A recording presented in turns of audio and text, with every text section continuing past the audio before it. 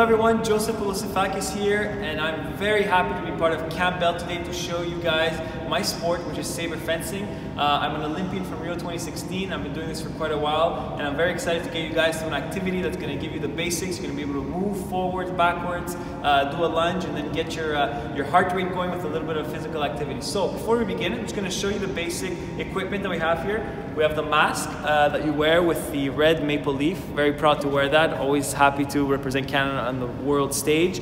Uh, this is our sword, our saber. Very flexible, as you can see, and uh, you know whips like Zorro. But very important to note, we're not going to be using this today. Nobody at home should use anything like a sword, so we're going to put this away. But still very cool to uh, to show it uh, what we use in our sport.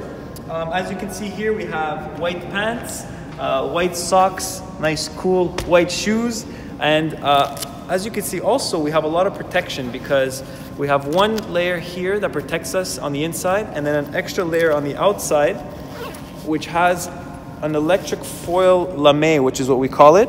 And this is uh, so that when we attach to a machine, when somebody touches us with the blade, the light goes on and we know whose point it was. So this is the basic outfit. On the back you have your name with your country. Uh, and uh, then you'd be ready to go. You have your trusty glove. On one hand, your hand that is the, uh, the hand with the weapon. The other hand, you just keep it uh, either behind your back or on the side, uh, but you don't put a glove there. So for today, we're going to be uh, anything at home that you have. It could be a, a cardboard paper from wrapping paper that you use a, that's, that's You could use an umbrella. Uh, I have just a foam roller here that you could use. So we're gonna use this to replace the Saber today and stay very safe because that's the number one priority here. We just wanna have some fun uh, and have a good day at camp. So the first activity we're gonna do, I'm gonna show you the basics, is the basic step forward, step back in fencing. So how do we get into the position to start moving in fencing? Very easy. If you're left-handed, uh, you have whatever you have in your hand with the left hand, you put that forward, you get into a position, a perpendicular position with the two feet touching each other, and then slowly you bring back your leg in the back and then get down into your on guard position. So as you can see here, your dominant leg is in the front. If you're right-handed, this is what you do. You have your right foot in the front, left foot in the back, and you're holding your ready, ready to defend. You have to be strong, holding up uh, whatever you have in your hand, you could even have nothing in your hand, just, just be showing off that position that you're really ready to go. So that's the first step. I'm left-handed, so I'm gonna go down to the position like this. And what we're gonna do now is we're gonna try and do some steps forward and backward. So first of all, I'm gonna show you the first step that you need to know is bring your foot forward while lifting, uh, lifting the foot slightly. And as it's going down, bring the back foot and the touches at the same time going forward. So lift the front foot forward, then bring the back foot at the same time. Lift the front foot forward, then bring back the back foot at the same time. So that's going to be the way we're going to go forward. Now, I'm to show you how to go backwards. Very simple. Get back into our on guard position. So remember, keep your, your toes perpendicular, then bring it back, get into your on guard position. We're going to go reach towards the back. So what we're going to do here is one long step back, and then bring the front foot following that step, all right? Long step back, front foot. Long step back, front foot. Now we're gonna try and put it together. So, here we go. Let's try it. One. That was one step. Two. Three. Four. All right, now we're gonna go back. One, two, three, and four. So that's the basic of going forward and back. Now what we're going to do, when in fencing you have an opponent in front of you, so uh, make sure you have uh, nothing, uh, nothing metallic at home. Just keep uh, maybe a teddy bear in front of you or something that's, uh, that's very, very safe. When you want to have someone in front of you just practicing the moves we're going to do, it has to be very, very safe. So make sure you're, you're ready for that. So what we're going to do here is called the lunge. This is what happens when somebody uh, in, in front of you is too far away. You have to reach them to try and get them. So what you have to do is you get into your position and you quickly try to get them by extending your leg forward, your front leg, in the air, landing, and then extending your arm. All right, so that's the lunge. You keep your back leg completely straight and your front arm straight as well. You don't need to have anything in your hand. You just do like this if you want. If you want, whatever's better for you. So we get into our guard position. someone's a little bit far, lift the leg, push with the back leg, and that's going to you your lunge. So, very important. Front leg lifts, the back leg hits the power, and then you land, hitting your target. So let's try this slowly one more time. Lunge. All right, one more time.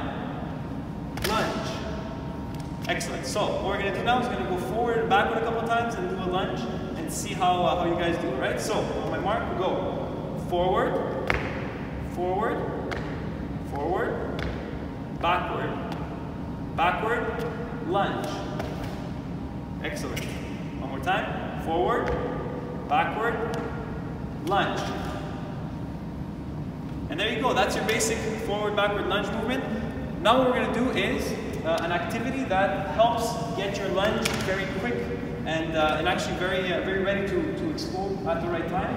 What we have here is tennis ball, and I'm going to take out my glove, and I'm going to help show you guys two exercises that you can do, one on your own and one with a partner if you have one. So, first of all, what you want to do is when you're doing a lunge, is your arm has to be very quick.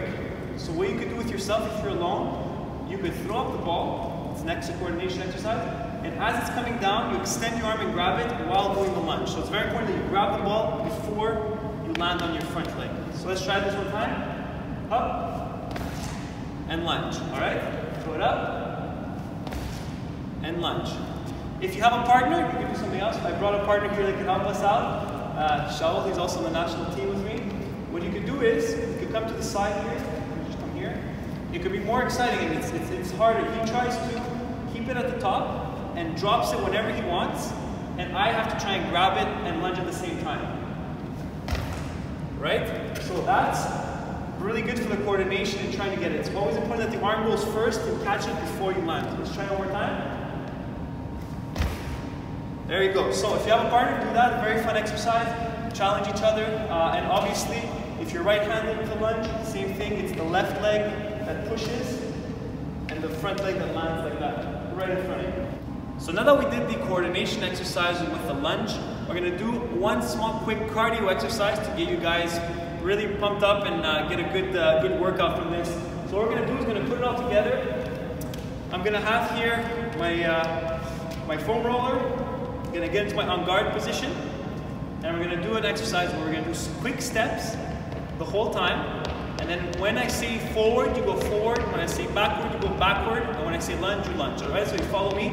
But it's very important to do the quick steps. All right, so let's go. Quick steps, quick steps, quick steps, quick steps, forward.